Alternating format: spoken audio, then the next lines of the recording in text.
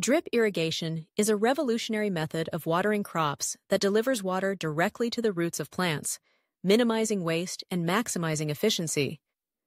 Unlike traditional irrigation systems that flood fields, drip irrigation uses a network of tubing and emitters to provide a slow, steady supply of moisture.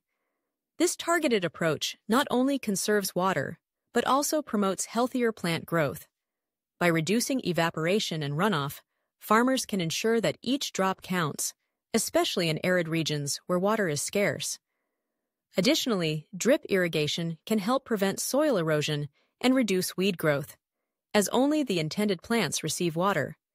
This system is adaptable to various terrains and can be automated for precision, allowing for optimal nutrient delivery alongside irrigation.